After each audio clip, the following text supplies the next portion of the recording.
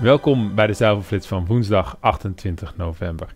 Ja, afgelopen maandag maakte Friesland Campina bekend de garantieprijs voor december stabiel te houden. En dat kan toch wel gezien worden als een meevallen, want kijken we naar de prijsontwikkeling op de zuivelmarkt, de Nederlandse zuivel- en dan moet hij deze week 7 euro inleveren tot 418 euro per 100 kilo. Volle en magere melkpoeder noteren stabiel.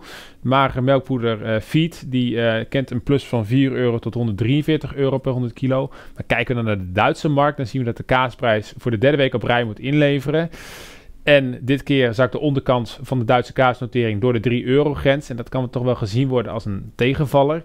Kijken we dan naar de prijsontwikkelingen van boter en kaas in 2018, dan rijmen die eigenlijk best wel met 2017. Ook toen moesten de boter- en kaasprijzen in het vierde kwartaal behoorlijk inleveren.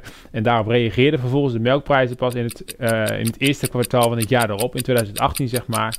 Dus ondanks de stabiele garantieprijs zit er toch nog wel druk op de melkprijzen. En kan het zomaar zijn dat er in januari alsnog lagere melkprijzen gaan volgen.